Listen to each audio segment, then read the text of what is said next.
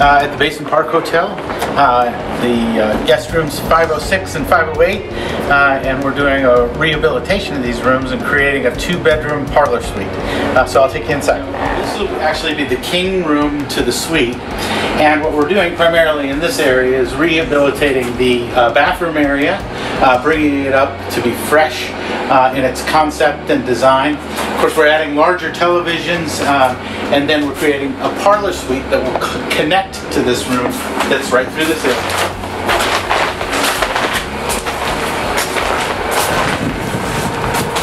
What's really great with this hotel or its partner hotel, the Crescent, is as you come in, you can see the construction and the bones of this uh, uh, property. So what I show you here are really interesting components. This is the lath and plaster uh, of the room. These really hardwood beams. Most of this lumber would have come out of the Hobbs uh, State Park area. But you can also see some of the old electric. You can see some knob and tube that used to be uh, imparted and some of these big cast pipes that are still in place. The cast pipes are still used for drainage of the building or roof vents. And that then brings you into the parlor, the parlor of this uh, two-room connecting suite. So that's a king room on that side. Then we'll have a queen room with a large bathroom. One of the neat pieces of this room is you can actually see the old hotel dumbwaiter. So if you look uh, in this area, you can see that the dumbwaiter used to deliver food to these rooms, and it would go from the kitchen all the way up to what is uh, the roof garden. Breakfast was served on the roof garden every day when this property opened and we're bringing the roof garden back uh, into uh, um, operation this year. As you go through, this is the gathering parlor for both uh, both rooms, and then you go into the king uh, room. Of course, he's overlooked the courtyard. A lot of people don't know the Basin Park is actually a horseshoe, uh, so it's uh, eight stories on one side, seven stories on the other, and it's a U-shaped uh, building that has this massive bluff in the back.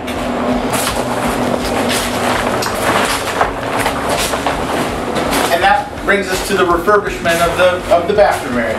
Uh, we uh, have a, a, beautiful standalone tub. Uh, it'll have a, a, a great walk-in uh, shower.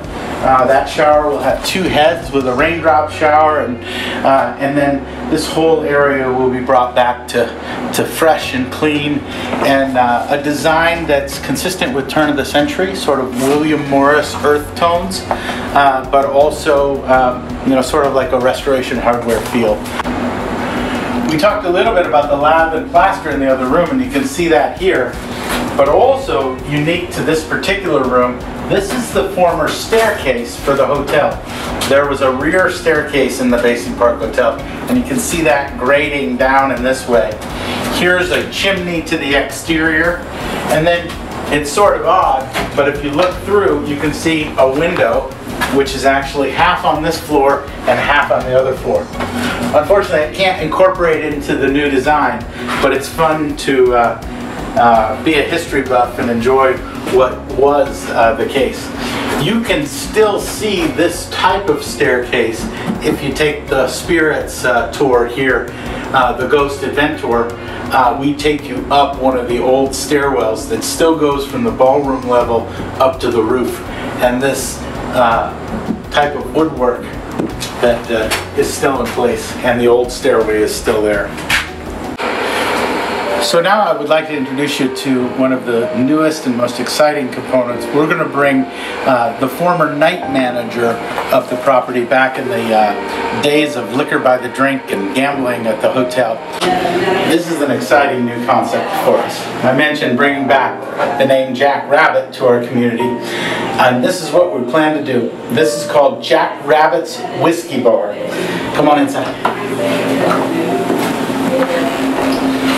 Now we're on the same level as the balcony restaurant, but every hotel that's a great hotel has a great hotel bar. And we thought that no better era was to capture than the era of Joe Parkhill from 1944 to 1955. This was a rocking place. You know, a lot of people uh, that were on leave from the military um, uh, areas were brought to Eureka Springs. It was a resurgence of, of fun, and really it was the fun era invented in Eureka Springs. Joe Parkhill was the leader of that, but his night manager was Jack Rabbit. And Jack Rabbit was on duty the night that the barefoot ball was busted by Sheriff Irwin DeWeese, or DeWeasel. Uh, and Jack Rabbit was hauled off to jail with Joe Parkhill, John Doe, who we still don't know who that is, and Jack Rabbit. So we're happy to be able to share that Jack Rabbit was a big part of Eureka Springs. And here's what we have. We brought the uh, tables down from Lucky 7. We're design and decor similar to the hotel, earth tones, William Morris pattern. You can see we brought these dynamic cases that were uh, resembling uh, the original construction of the Basin Park, the beams in the lobby, and we've been able to bring these beams throughout the hotel to signify the design period that was turn of the century. This hotel being built in 1905. One of the real significant components is the original hotel front desk is now the bar here. This is uh, quite an accomplishment to bring this uh, piece of furniture. It's had a few different lives, uh, including being tucked away in storage, never to be used again, to make it up to the Lucky 7 bar, and to be brought back downstairs here to recreate a bar that was fashioned by Joe Parkhill originally. This was the old Ozark room, every Wednesday night there was a dance in the Ozark room, and every Saturday night there was a big uh, hootenanny up, upstairs in the grand ballroom. So here we are Wednesdays. This was the Ozark room. This was Joe Parkhill's bar, staffed occasionally by the night manager, Jack Rabbit, and we brought it back this year to open Super Bowl weekend. So you can see it's all turn of the, uh, turn of the century design, William Morris pattern. Uh, we have a couple of Larry Mansker paintings. Uh, Larry's paintings represent Lake Leatherwood and the Ozarks. Um, but you also see how we blended together maybe a 85-inch television or two 65-inch televisions. Where is there a good place to watch a sports game and just be uh, uh, relax and watch the Chiefs win the Super Bowl? I, I can't think of a better place than right here. So this is Jack Rabbit's Whiskey Bar. The other piece that's sort of neat to this is we will be serving George Dickel uh, whiskey. Uh, we will be private labeling uh, George uh, Dickel 12 year uh, for Jack Rabbits. Uh, there's a local connection to George Dickel, and of course it comes to us from, from nearby Tennessee. So the one little surprise that I have, and it's not quite built yet, but we're getting close, is Everygood's uh, rabbit's den has a has a rabbit hole. Uh, so we're going to see if we can have a rabbit hole here. In this corner up to the right, it looks just like a wall. But what most folks that frequent here will soon see is the rabbit hole actually will go down into our cave and will host our wine cellar and our private reserve of whiskey. I'm going to show you that next. Well, here you are. We're actually a full story or story and a half, depending on what side of the hotel you're on, uh, below where I last left you in Jack Rabbits. And now I'm going to show you the rabbit hole. So come on this way, and you're going to see a neat part. This is oftentimes referred to as the cave.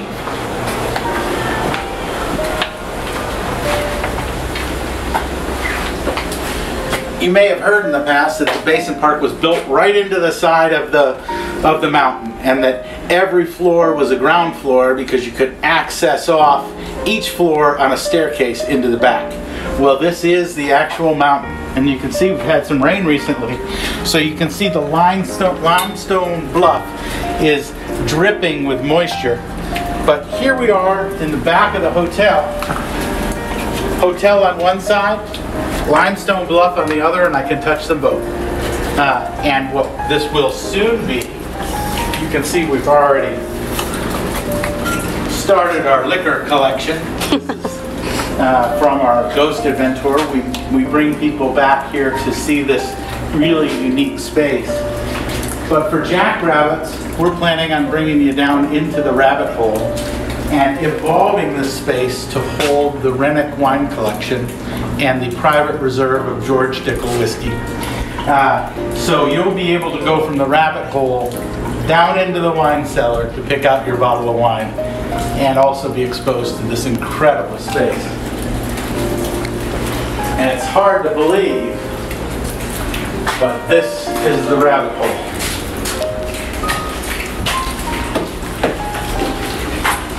And this is how you get there. Oh boy.